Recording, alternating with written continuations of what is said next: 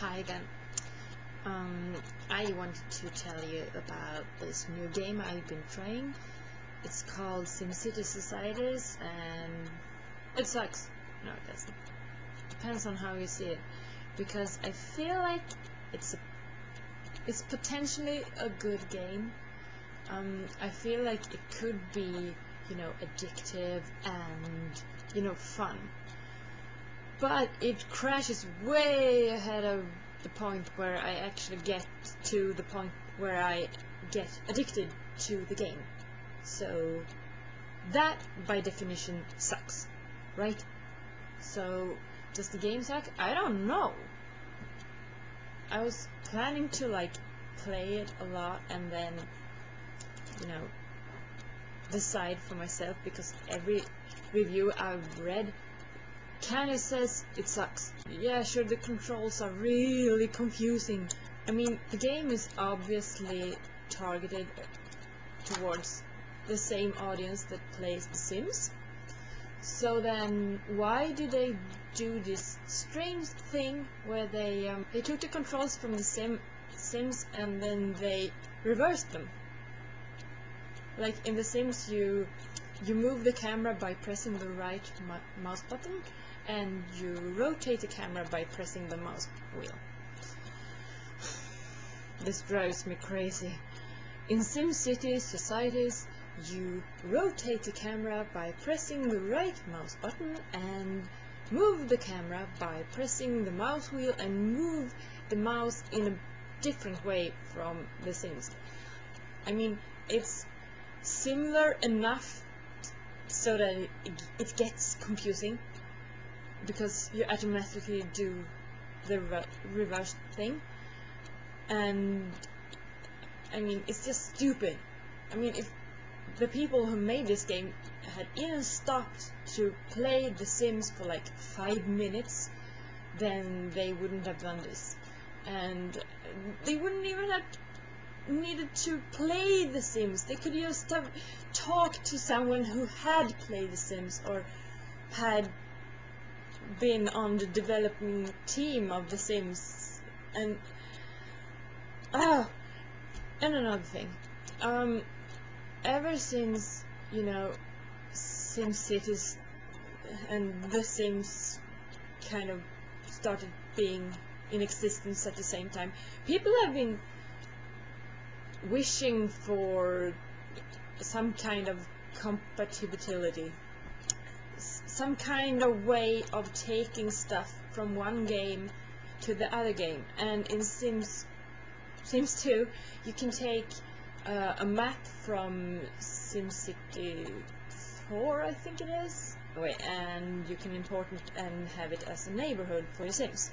And um, it just seems like a game like SimCity Societies would have something like that. Or you could import like a house that you made in The Sims 2 and put it in your game and have have it being like look here's the house that I built myself and my sim is living in there. But you can't. Um, so the controls are bad and when you're placing a house I I get frustrated. Why would I want to put a house down at a 45 angle degree when I can't build a road that would, you know, fit to it. And why wouldn't I be able to, to build a road at a 45 angle degree? Because that would look good in my city. Because I sure don't like this square city thing. That's just stupid and ugly. Oh yeah, this energy thing they have going spirituality and authority and creativity and there's six different things of them. And I think that's really a good idea you know uh, if, if it has some effect. Okay if you if you build a lot of so that you have a surplus of authority you're gonna get a lot of criminals I think because that's what happened in my city.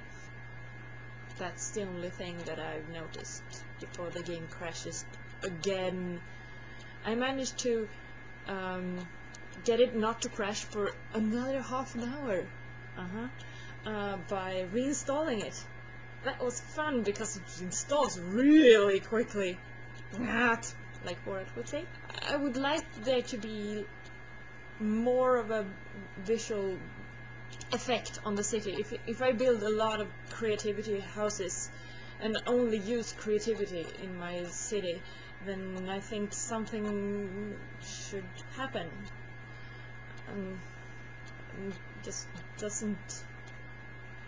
Although I haven't gotten a city bigger than like three streets because the game will crash all the time for me. On top of these energy things, there's this um, theme kind of thing.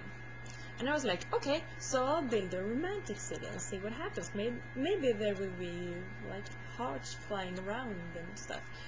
And I started out my city and I built only from the. Actually, I had it had uh, the romantic city thing selected the whole time, and I guess that should make only romantic buildings show up. So if that has anything to do with what happens in the game, then it should have happened, I think. Uh, but it didn't. Um, granted, my city wasn't that big, but I think if you have only one type of houses in the city, something you should uh, you should be able to see it. The building menu. It took me a while to figure it out. I mean, this these little lines that go up from the um, the symbols that are the energies and the type of, building you, that you, you got homes and workplaces and energy and venues that you can I realized after playing like for an hour that th there was actually this little dotted line going up to the building menu when I had one of those selected. And I didn't see that and it wasn't mentioned in the tutorial. So I I was never sure what I was looking at what type of building was I building. It got confusing.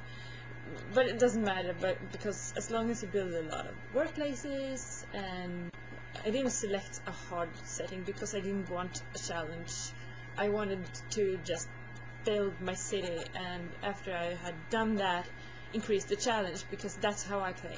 I, I learned the game first on a simple setting that I can handle and then when I think oh yeah I, I know I, I got a hang of the controls. I can do everything. I know where everything goes and where I can find stuff uh, after that I go and play a game on a harder setting but I never got to do that this game is potentially very addictive but because I can feel it I can feel that if I keep playing my city for a bit longer, I'm gonna feel like I get addicted to it and I want to play more.